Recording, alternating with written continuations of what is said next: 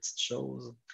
Et voilà. Donc, euh, oui, excusez-moi, je me présentais. Je suis Alessandro Diani, le coordonnateur du programme euh, Mission Monarque. On fait des capsules euh, de Mission Monarque live sur YouTube pour tout le mois de juillet. Il y a une, une, première présentation, une première capsule qui a eu lieu la semaine dernière, le premier jeudi. Donc, ils vont en avoir trois autres, incluant celle-ci que je vais donner aujourd'hui. Donc, c'est très simple. Vous pouvez aller vous abonner à la chaîne euh, YouTube d'Espace pour la vie. Nos vidéos vont être diffusées là. Vous pouvez même accéder aux vidéos passées. Donc, celle-ci, elle est enregistrée. Vous allez pouvoir l'écouter aussi euh, plus tard si vous la ratez ou si vous voulez la réécouter tout simplement, vous pouvez le faire. Donc, euh, comme je vous dis, c'est à chaque jeudi à midi et ça jusqu'au 30 juillet. Nous, aujourd'hui, je vais vous le présenter tantôt, mais on va parler de la slépiade, une plante vraiment importante pour le monarque. Donc, j'espère que, que ça va vous plaire et on espère aussi qu'avec cette nouvelle plateforme, ça soit tout aussi intéressant que sur l'enseigne qu'on avait utilisée euh, la première semaine. Donc, j'attends encore que quelques participants participantes s'ajoutent au YouTube Live et je vais avoir le go euh, très prochainement de mon collègue Carl-Éric pour pouvoir euh, commencer à faire ma présentation. Donc, encore là, je vous ai parlé de la, chaîne YouTube. Vous pouvez toujours aussi aller sur le site de Mission Monarque. Le site, c'est mission-monarque.org. On a un onglet pour le Blitz international du Monarque. Si vous allez cliquer là-dessus, vous allez pouvoir voir l'ensemble des activités, dont les chaînes YouTube, mais aussi d'autres présentations que je peux faire à d'autres endroits. Donc, si jamais vous voulez vous inscrire aussi à d'autres présentations sur ce programme-là, euh, allez-y, les informations se trouvent là. Et aussi, je vais vous parler bien certainement à la fin de la rencontre du Blitz international du suivi du monarque. C'est pour cette raison-là qu'on fait des capsules live tout le mois de juillet. Du 24 juillet au 2 août, c'est un moment où partout en Amérique du Nord, on encourage avec les plateformes et les programmes de sciences participatives sur le monarque à aller avec des citoyens sur le terrain, faire des observations et partager des données. Donc, c'est un beau moment pour nous tous euh, et toutes en Amérique du Nord à contribuer à la conservation du monarque en observant le monarque sur sa plante haute, la slépiade, et en partageant ses données. Donc, euh, je vais faire aussi un petit rappel, je le fais à chaque fin de capsule pour que vous puissiez savoir c'est quand euh, le Blitz international du monarque.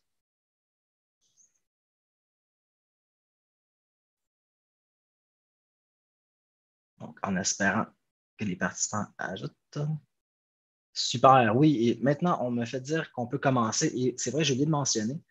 Euh, bien certainement, il y a une capsule de 15-20 minutes, mais il y a toujours un 10 minutes de questions à la fin. Donc, assistez à la capsule, mais restez ici jusqu'à la fin parce que vous allez pouvoir poser vos questions en direct et moi, je vais tenter d'y répondre du mieux que je peux. Donc, sans plus tarder, on a un lancement officiel. Je vais juste préparer euh, mon partage d'écran pour que vous puissiez voir la présentation.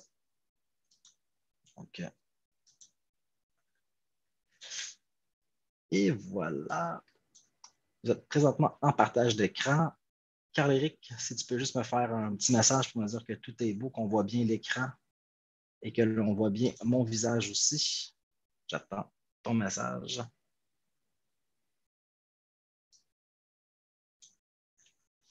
Donc, parfait.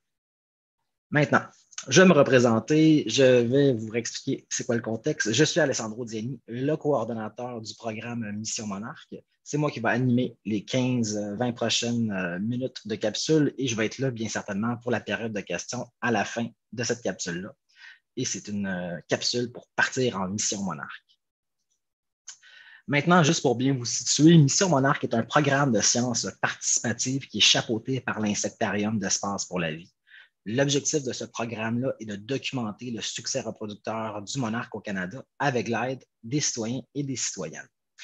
J'ai parlé un peu plus du programme et du contexte à ma dernière capsule. Donc, si vous voulez, la voir, elle sera disponible sur la chaîne YouTube. Je vous encourage de le faire si vous n'étiez pas présent ou présente la semaine dernière. Maintenant, comme je vous dis, c'est des capsules qui auront lieu tous les jeudis du mois de juillet. Ils sont conçus pour vous les personnes qui veulent vous se familiariser avec le programme, mais aussi reconnaître bien la slépiade, en apprendre davantage sur le monarque, et aussi pour tous ceux et celles qui veulent participer activement au Blitz, qui va être du 24 juillet au 2 août. Donc, l'horaire des jeudis midi, c'est du 9 juillet au 30 juillet. Le 9 juillet, on a eu le programme. Cette semaine-ci, le 16, on parle de la plante haute du, euh, du monarque, la slépiade. La semaine prochaine, on va parler en profondeur du papillon lui-même. Et le 30 juillet, en plein durant le Blitz, nous allons parler de votre contribution jusqu'à ben, ce moment-là. Ça va être commencé depuis le 24. On va voir d'ici au 30 qu'est-ce que vous avez fait pour aider le papillon monarque. Donc, sans plus tarder, on se lance dans le thème de cette semaine qui est la plante haute du monarque, l'asclépiade. Donc, c'est possible que vous vous posiez la question à savoir pourquoi est-ce qu'on parle d'une plante aujourd'hui? C'est un programme pour le monarque, c'est chapeauté par l'Insectarium de Montréal. Donc, pourquoi veut-on parler d'une plante? Eh bien, la raison est simple. C'est parce que l'asclépiade est essentielle pour le monarque. C'est la seule nourriture de sa chenille. En effet, le papillon que vous allez pouvoir observer va parfois butiner d'une fleur à l'autre. Il peut butiner de l'asclépiade, mais il va aussi butiner d'autres fleurs de plantes euh, riches en nectar, donc des plantes nectarifères mais sa chenille, elle, va uniquement manger de la sclépiade et les œufs vont être uniquement posés, excusez-moi, pondus sur ces plantes-là. Donc, on va commencer à parler des caractéristiques de la sclépiade en général. L'une d'elles est son latex, une substance liquide sécrétée par certaines plantes. Elle est très, très spécifique à la sclépiade dans ce cas-ci. Ça a une apparence laiteuse. C'est pour ça qu'on l'appelle milkweed en anglais. Donc, son nom euh, est très bien mérité. C'est un liquide qui va être sécrété lorsque la plante est euh, blessée. Donc, si jamais on abîme les feuilles ou si des insectes piquent la tige, il va y avoir des petits coulis de latex. Ce latex-là peut être liquide, un peu visqueux au début, mais il va se solidifier au contact de l'air et ça va devenir plus physique par la suite. Ça permet de colmater ces petites brèches-là. Ce sont des caractéristiques physiques très intéressantes, mais il n'y a pas que ça, il y a aussi des caractéristiques chimiques vraiment intéressantes. Dans ce latex-là, on retrouve des cardinolides, qui sont des molécules toxiques et un très mauvais goût, et ils constituent un moyen de défense pour la plante. En effet, tous les herbivores qui vont vouloir s'alimenter de la ben, ils risquent de s'intoxiquer avec ces cardinolides-là. Euh, dans certains cas, ils peuvent même aller jusqu'à en mourir. Ce n'est pas tous les animaux qui vont en mourir, c'est très spécifique, par exemple, aux chevaux ou au bétail dans des enclos où il y a des asclépiades qui poussent. Si ces bétails-là se nourrissent en trop grande quantité de l'asclépiade, ils peuvent potentiellement en mourir. Toutefois, pour l'humain, il n'y a pas de risque, à moins que vous en mangez une tonne, mais le goût va vous y arrêter bien avant. Ce n'est pas vraiment agréable à manger, donc aucun danger pour l'humain. À notre niveau, ce qui risque d'arriver, c'est vu qu'il y a quand même des molécules euh, toxiques, un contact prolongé, c'est possible qu'on euh, développe des dermatites. Encore là, c'est très rare chez le commun des mortels. C'est beaucoup plus les agriculteurs et les agricultrices qui vont développer ça, ou même, par exemple, des entomologistes, des biologistes qui sont souvent en contact avec cette plante-là. Maintenant, si on revient au monarque, comme j'ai dit, c'est un moyen de défense pour la plante, mais le monarque, lui, se nourrit exclusivement de cette plante. -là. Eh bien, lui, il a réussi à trouver une stratégie pour, quand je peux dire, tolérer cette substance toxique-là et s'alimenter de la sclépiade. Mais non seulement ça, non seulement il tolère les cardinolides, il a réussi même à les stocker dans ses tissus. Et ça, ça lui procure un avantage. Pourquoi? Eh bien, parce que la chenille qui s'alimente de la sclépiade et le monarque, par la suite, l'adulte, les deux vont être toxiques. Alors, l'avantage qu'avait la sclépiade avec les cardinolides, eux aussi vont en tirer bénéfice. Donc, si on est un prédateur et qu'on vient s'alimenter du monarque, donc qu'on mange une chenille ou qu'on mange un papillon, le prédateur va aussi souffrir des mêmes problèmes. J'ai hésité à vous partager la fameuse photo du jet bleu qui s'alimente d'un papillon monarque et qui par la suite le régurgite, mais je me suis dit que sur l'heure du midi, c'était peut-être pas la meilleure idée. Donc, sachez que si on s'attaque au papillon ou à la chenille, on ne va pas aimer ça la plupart du temps. Donc, ça va m'amener à une autre stratégie du monarque, ce qu'on appelle l'aposémétisme. Donc, l'aposémétisme, c'est une stratégie évolutive, adaptative, qui permet à certains organismes d'émettre un signal d'avertissement. Donc, c'est pour ça qu'on a des couleurs éclatantes, autant au niveau de la chenille qu'au niveau du papillon. Ce n'est pas pour se camoufler, au contraire, on les voit très bien, mais c'est pour envoyer un message d'alerte au potentiel prédateur, comme quoi, hé, faites attention, je suis toxique et je ne suis vraiment pas agréable à manger. Donc, la stratégie qu'a développée la Slépiade, ils en bénéficient eux aussi. Toutefois, ce n'est pas juste le papillon ben, le monarque lui-même, la chenille et le papillon qui a développé cette euh, stratégie-là. Il y a une foule d'insectes qui s'alimentent de la sclépiade. Je vais vous les présenter ici. Pourquoi? Parce qu'ils ont, oh, excusez-moi, ils ont eux aussi un peu développé cet aposémétisme. Ils ont des couleurs assez similaires. Si vous voyez mon curseur rouge, là, par exemple, l'arctide de, de l'asclépiade, son abdomen a des petits poils orange. Bon, c'est moins flamboyant que le monarque, mais sa chenille aussi arbore des couleurs orange et blanches vives qui vont envoyer des signaux. Il y a aussi des euh, coléoptères qu'on va retrouver sur l'asclépiade, dont le chrysomène de l'asclépiade avec sa carapace noire et orange. On retrouve aussi le cantharide et le fameux longicorne de l'asclépiade, un longicorne rouge écarlate, donc très éclatant avec ses longues antennes noires. Clairement, ils sont très visibles parce qu'ils sont aussi toxiques comme le monarque. On retrouve aussi parfois des punaises, dont la petite punaise de l'asclépiade, et aussi des pucerons qui sont eux aussi orangés, ce qui est très drôle parce qu'une bonne majorité des pucerons vont être plus de couleur verdâtre. Donc, ici, je vous ai présenté un petit peu tous les autres insectes que vous allez pouvoir rencontrer sur la Ça peut vous être utile parce que si jamais vous faites des missions monarques, ben, vous risquez de les rencontrer eux aussi. Donc là, je vous ai parlé du latex et des cardinolides. Il y a aussi d'autres choses qui rendent l'asclépiade bien spéciale. Et eh bien, ce sont ses fruits et ses semences. Le fruit a une allure un peu euh, particulière, hein. euh, particulier, devrais-je dire. Les fruits sont assez gros, raboteux, euh, un peu duveteux. Possible que vous les ayez déjà vus dans le passé sans savoir que ça appartenait à cette plante-là. Généralement, lorsqu'on voit ces fruits-là, on sait qu'on fait affaire avec de l'asclépiade. Mais ce qui est intéressant surtout, c'est que les fruits, une fois qu'ils s'ouvrent plus tard dans la saison, ils vont libérer des graines avec des aigrettes soyeuses, comme on voit ici, ce qui leur permet de se disséminer dans le vent. Eh bien, ces aigrettes-là aussi sont très, très particulières. Ils ont même valu le nom de soyer d'Amérique ou de soie d'Amérique. C'est parce qu'ils ont des propriétés vraiment intéressantes. Et depuis quelque temps, on tente de voir s'il y a un intérêt commercial à utiliser ces aigrettes-là. Eh bien, il y en a, c'est certain. Elles, sont, elles constituent une fibre souple. Elle est aussi résistante et hydrophobe, donc on tente de l'utiliser dans nos matériaux et on en fait des fois euh, la production à plusieurs endroits du Québec. C'est utilisé en général pour rembourrer des douillettes ou des oreillers, euh, c'est aussi utilisé pour confectionner des vêtements chauds et hydrophobes, donc des vêtements qui repoussent l'humidité. Ils sont aussi euh, utilisés pour créer des isolants thermiques et acoustiques, mais aussi ils ont été trouvés intéressants pour, pour jouer un rôle de matière absorbante dans les cas de déversement pétrolier. Donc, comme quoi, euh, est utile pour non seulement le monarque, mais aussi pour nous, les êtres humains. Maintenant, je vais vous parler plus spécifiquement des asclépiades que l'on retrouve ici au Québec. On compte quatre espèces d'asclépiades au Québec de façon indigène, donc on retrouve naturellement ici au Québec. Il y en a deux qui sont plus communes. Une qui est extrêmement commune, d'où son nom, asclépiade commune. Généralement, je pense que 90% du temps et plus, c'est elle que vous allez rencontrer. Euh, et je vais vous parler un peu plus d'elle, plus en détail tantôt. Euh, on la retrouve assez facilement. Là. Elle est soit dans les milieux éclairés, ouverts, euh, des milieux perturbés, des sols secs qui sont un peu pauvres, des terrains vagues, des bords de route. Donc, c'est pour ça qu'on la voit assez facilement. La suivante qu'on voit, qu'elle est assez commune, mais qu'on voit moins souvent, c'est l'asclépiade incarnate. C'est une asclépiade, contrairement à toutes ces autres espèces sœurs, qui ne va pas occuper les mêmes zones, les mêmes environnements que, ses consorts. Elle on va la retrouver plus principalement dans les milieux humides, donc euh, des marais, des rives de lacs ou des cours d'eau. Mais généralement, le reste des asclépiades, comme l'asclépiade commune, ça va être plus dans des milieux ouverts. Je vous parle aussi de deux autres espèces qui sont très rares au Québec, l'asclépiade tubéreuse et l'asclépiade très grande. Ces deux espèces-là, eh bien, c'est dommage, elles sont très rares. Par exemple, l'asclépiade tubéreuse a été retrouvée uniquement à deux sites au Québec. Et depuis 2005, elle est désignée comme menacée. Donc, euh, elle est très, très rare et on évite de, la. Ben, on ne veut pas du tout l'accueillir, on veut la laisser le plus possible dans son, environnement naturel et ne pas altérer l'environnement dans lequel elle se trouve. Pour la sclépiade très grande, elle n'est pas encore désignée euh, vulnérable, mais elle est susceptible de l'être. Jusqu'à maintenant, il y a uniquement quatre sites au Québec où elle est connue.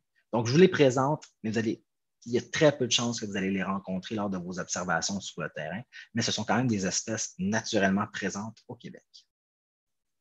Je parle maintenant aussi des asclépiades ornementales. Pourquoi? Parce que ceux-ci, ils ne vont pas survivre au climat québécois, mais on peut les retrouver dans nos jardins. Et comme les asclépiades naturellement retrouvées au Québec, les monarques vont aussi pondre des œufs sur ces plantes-là et les larves, euh, les chenilles, en fait, vont aussi manger le feuillage et les fruits. Donc, je parle de l'asclépiade de Curaçao, qui a des, euh, fleurs très euh, flamboyantes d'un rouge et jaune, et aussi un qui a une allure un peu particulière, qui est l'arbre à ballon, Donc, je parlais des fruits des asclépiades, comme quoi c'est assez particulier. Celui-ci a une forme un petit peu différente, mais tout aussi impressionnant. Un gros ballon avec des petits filaments végétaux qui, qui le recouvrent. Donc, ceux-là, on ne les retrouvera pas en nature, mais on les retrouve dans les jardins. Ça m'amène à vous dire aussi que peu importe le type d'asclépiade qu'on trouve, toute observation est importante à noter et à partager. Donc, que ce soit en nature avec des asclépiades présentes au Québec ou même des espèces de jardin, on est intéressé à avoir vos observations et vos données. On me posait souvent la question à savoir qu'est-ce que je fais avec mes asclépiades que je trouve dans mon jardin? Eh bien, vous pouvez tout aussi bien faire des missions monarques. Et justement, ça m'amène au programme. Je vous l'ai présenté plus en détail lors de la capsule précédente. Vous pouvez retourner la voir sur la chaîne YouTube. Maintenant, moi, je vais vous parler plus spécifiquement de l'asclépiade et comment en retrouver. Parce que c'est la première étape, c'est par là qu'on commence une mission monarque. Donc, où en chercher? J'en ai déjà donné des petits, indices tantôt. Ils aiment les milieux ouverts, ensoleillés. Donc, si vous êtes en milieu naturel, ça va être des champs, des lisières de forêt, euh, des clairières bien dégagées. C'est là qu'on va le retrouver. Donc, il faut qu'ils aient beaucoup de la lumière. Si on est dans la forêt, très peu de chances qu'on voit l'asclépiade. Souvent aussi, c'est des milieux qui sont plutôt secs, donc il n'y a pas beaucoup d'autres choses qui vont pousser autour. On peut aussi les retrouver dans des milieux développés. Donc, si on a des routes, des chemins de fer ou des terrains vagues ou abandonnés, l'asclépiade va souvent profiter de ces environnements-là pour pousser aussi. Donc, si vous roulez pour aller à votre chalet, très possible que vous envoyez sur le bord des routes. Bien certainement, si vous voulez faire des missions à ce niveau-là, on vous demande d'être vraiment prudent. Mais sachez que c'est des environnements propices où on peut trouver de l'asclépiade. Mais aussi, l'autre endroit, je vous en ai un peu parlé avec les deux espèces ornementales, on en retrouve aussi dans des jardins des espèces ornementales, mais aussi des espèces sauvages. De plus en plus, on plante de l'asclépiade dans nos jardins pour offrir des sites de reproduction aux monarques. Donc, ici, c'est une photo que j'ai moi-même prise il y a quelques semaines à la prairie mellifère, euh, qui, est, organisée par Miel Montréal et le campus 1000 dans le quartier Outremont. Eh bien, ils ont fait un très beau jardin pollinisateur où il y a des fleurs où on peut aller, ben, où les pollinisateurs peuvent aller se nourrir, mais ils ont aussi des asclépiades à travers ça où les monarques peuvent aller pondre. Donc, tous ces environnements-là sont intéressants à visiter et encore là, à partager des données. Ce n'est pas parce que c'est en milieu forestier, euh, en milieu euh, naturel ou en un jardin qu'on a des préférences. Le programme veut des données de partout et de tous les environnements, tant qu'il y a de la slépiade. Maintenant, là, je parle un peu plus des stades de la slépiade parce que bien certainement, quand on montre des photos de fleurs et de fruits, ça saute aux yeux, mais ce n'est pas que ça. Au début de la saison, donc à la mi-mai, euh, début juin, on va commencer à avoir des sorties de terre euh, d'asclépiades, mais ils ne vont pas avoir les mêmes caractéristiques assez flamboyantes qu'on est habitué. Ça va prendre la forme de fleurs, euh, de feuilles, excusez-moi, comme ça. Donc, quelques petites feuilles qui vont pousser, donc c'est tout, tout petit, mais on peut quand même les reconnaître assez facilement. Ils ont des feuilles relativement larges, opposées, et souvent il y a du duvet dessus. Donc, ça, on peut les reconnaître par ces caractéristiques-là. Bien certainement, plus que la saison avance, on va avoir des fleurs, euh, là, on va retrouver ces caractéristiques pour l'ensemble des espèces d'astépiades, dont la commune. Ça va former une ombelle, donc une belle boule comme ça, ce qu'on appelle parfois un pompon dans le commun des mortels. Eh bien, ça, c'est très caractéristique et ça, on peut le reconnaître assez facilement.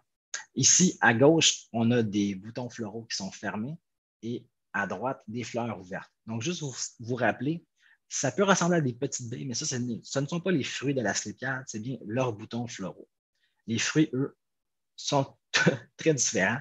Une fois que les fleurs vont perdre leurs pétales, ils vont commencer à gonfler, gonfler, gonfler s'ils ont été pollinisés et former des fruits de la sorte.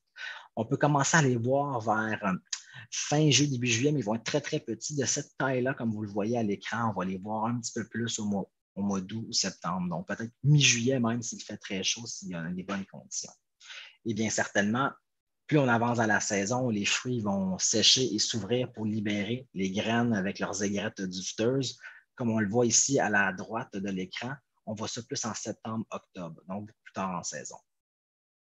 Donc, tous les stades d'Asclépiade, à tout moment, c'est pertinent de les observer et de faire des missions monarques et de documenter. Bien certainement, au début de la saison, quand les plants sont très petits, il n'y aura pas de présence de monarque ou d'œuf, mais c'est très intéressant de savoir qu'il y a des asclépiades qui poussent à ces endroits-là. Et très tard en saison, comme vous le voyez ici, il y a très peu de chances que vous voyez des monarques à ce moment-là, surtout pas sur les plantes. Il n'y aura pas de chenilles, la plante est pratiquement morte. Mais encore là, si vous les observez à ce stade-là, vous pouvez faire une mission, partager vos observations. Et comme ça, on le sait que c'est un endroit où on peut retrouver de l'asclépiade et l'année prochaine, pourquoi pas y retourner.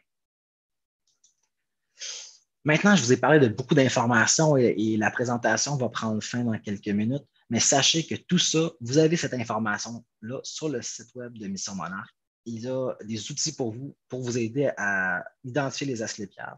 Ça, c'est une des pages qu'on a avec un, petit moteur de recherche où on peut filtrer par certaines euh, données, que ce soit la province où on se trouve, la couleur des fleurs, le type de feuilles qu'on voit ou même l'habitat dans lequel on se trouve. Et on va générer les asclépiades les plus probables selon les critères là, que vous allez rencontrer. Et lorsque vous cliquez là-dessus, vous allez avoir aussi d'autres outils, plus, ben, plus d'informations sur les asclépiades.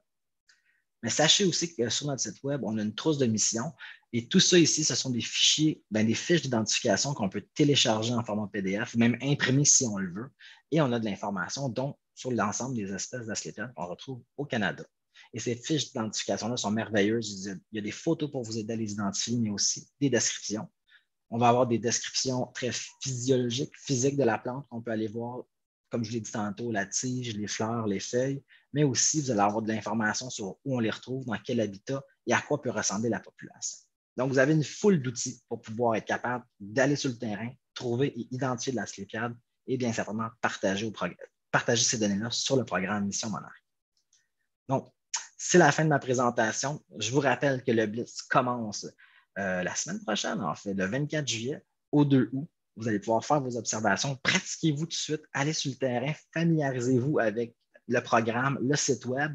Puis après ça, soyez prêts et soyez des experts pour pouvoir participer du 24 au 2 août dans ce Blitz international qui va rassembler des participants de partout en Amérique du Nord, non seulement du Québec, mais du Canada, des États-Unis et aussi du Mexique.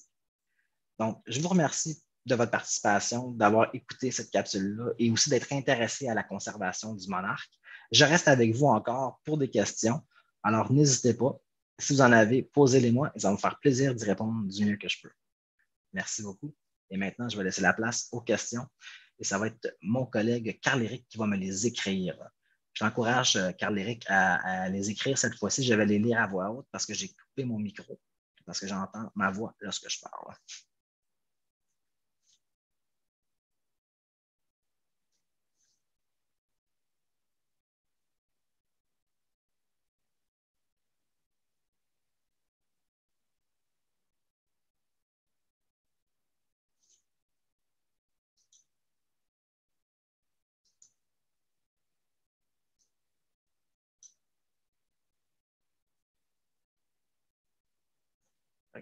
Je vais même sortir de l'écran. Ça va être plus simple pour moi.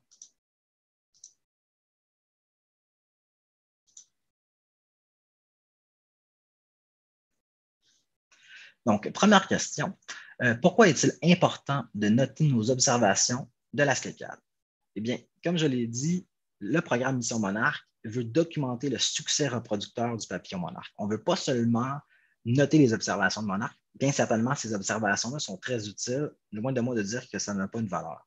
Toutefois, la particularité de notre programme, surtout par rapport à d'autres euh, programmes de sciences participatives, on a un protocole un petit peu plus élaboré où on veut en connaître plus sur le succès reproducteur du monarque. Donc, pour savoir ça, on veut savoir où se trouve la sclépiade, donc sa plante haute, et savoir si on y trouve des chenilles et en quelle quantité. De cette façon-là, on est capable de savoir quels sont les endroits les plus intéressants à protéger si on veut faire des plans de, conservation. Mon Dieu, je dis toujours conservation. Conversation, je me mélange entre les deux. Les plans de conservation. Donc, grâce à, grâce à ces données-là, on est capable de relier la présence d'asclépiades et l'utilisation de ces plantes-là par le monarque. Ça peut arriver parfois qu'on trouve énormément d'asclépiades, a pas de papillon monarque. Ça aussi, c'est une information qui est pertinente. Et parfois, à l'inverse, on trouve beaucoup de papillons, mais pas d'asclépiades. Donc, de joindre les deux, ça nous permet d'avoir une meilleure idée sur qu'est-ce qui se passe et comment que le papillon monarque occupe nos territoires ici au Canada et aussi partout aux États-Unis. Il y a d'autres programmes qui font la même chose aux États-Unis et au Mexique.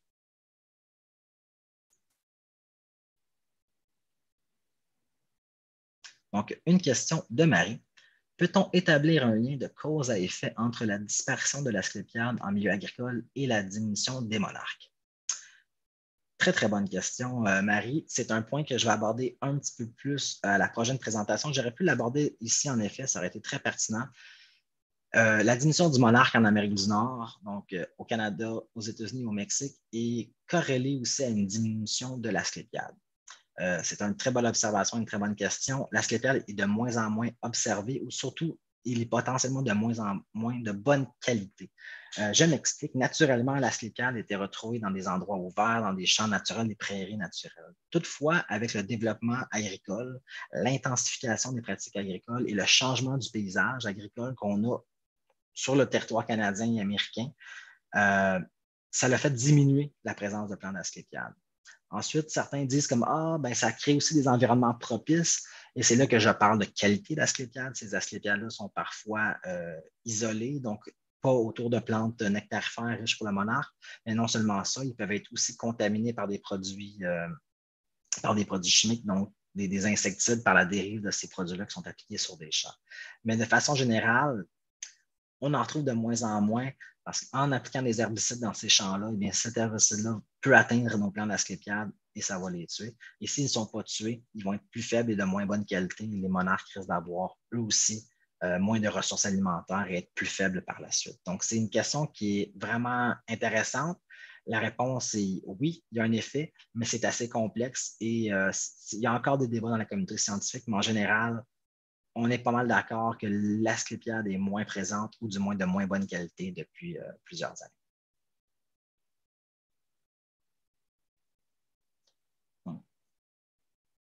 Prochaine question. Est-ce qu'on peut s'attendre à observer le monarque à tous les stades de développement de la plante ou est-ce qu'on peut s'attendre à ce que le monarque visite l'asclépiade à certains stades de son développement? Euh, très bonne question. Euh, ce qui va arriver, il y a, deux choses. D'une part, il va y avoir la, synchronicité entre le papillon et l'asclépiade. Comme je vous ai dit, début mai, mi-mai, parfois, on peut avoir de l'asclépiade qui sort. C'est seulement le stade feuille. Eh bien, très peu de chances qu'on ait le monarque euh, d'observer à ce, moment-là. Pas parce qu'il n'apprécie pas l'asclépiade euh, avec ses jeunes pousses, mais tout simplement parce qu'il n'est pas présent.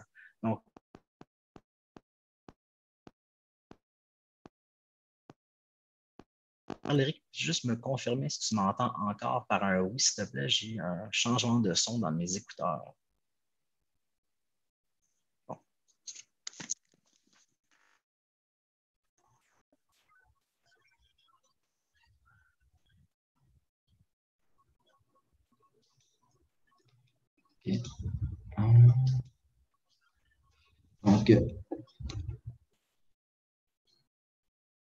Parfait. Est-ce que tu m'entends bien, Carl-Éric, maintenant? Ah, bon, parfait. Désolé pour ce petit problème technologique. Ça ne s'était pas produit la première fois, mais on a toujours des belles surprises. Donc, oui, je parlais du stade feuille. Euh, donc, à ce stade-là, le monarque pourrait l'utiliser, mais il n'est pas encore présent au Québec. Donc, le monarque arrive un peu plus vers le stade de fleur, mais ce n'est pas qu'il ne le préfère, c'est juste qu'il arrive à ce moment-là.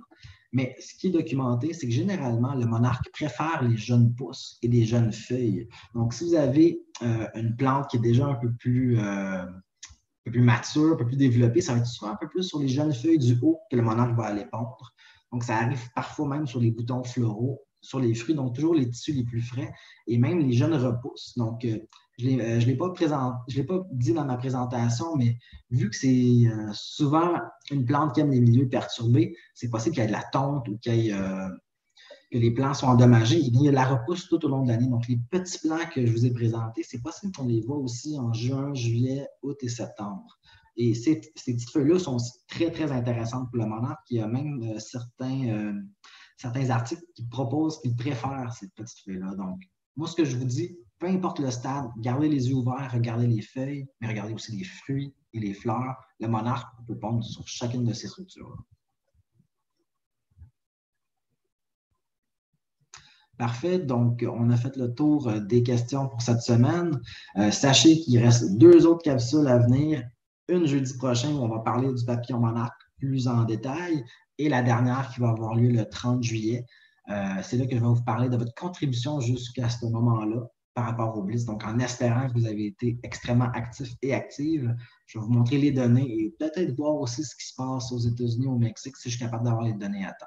Donc, euh, merci beaucoup de votre participation et je vous dis, euh, même chaîne YouTube, même heure la semaine prochaine, on va parler du monarque ensemble et vous allez avoir des belles photos et plein d'outils pour bien le reconnaître et le distinguer des autres insectes. Donc, merci beaucoup et bonne fin de journée à vous. Et bien certainement, merci Caléric de m'avoir assisté euh, dans cette capsule web. Merci à toi. Ah, une petite dernière question. Oui.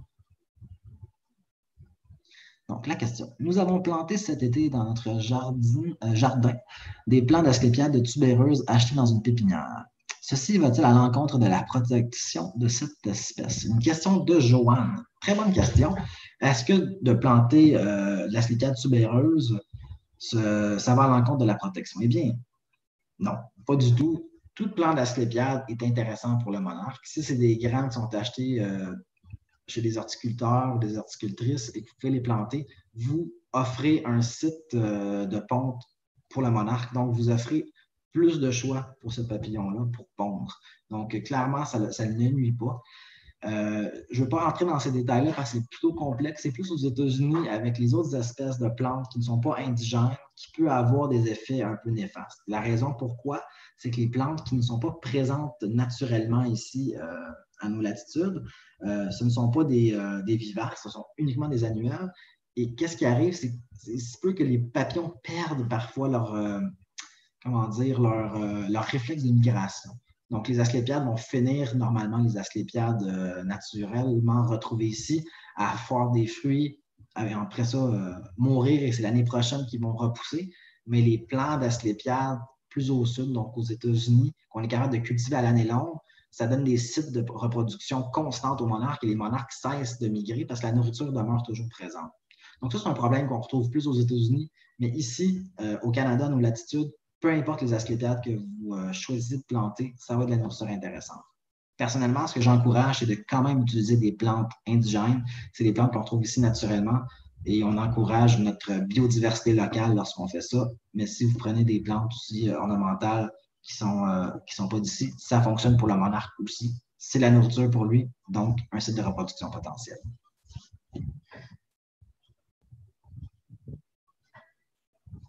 Voilà. Donc, euh, merci à toi, Carl-Éric. Et si jamais vous avez d'autres questions, n'hésitez pas à, m'écrire euh, sur le site Internet de Mission Monarque.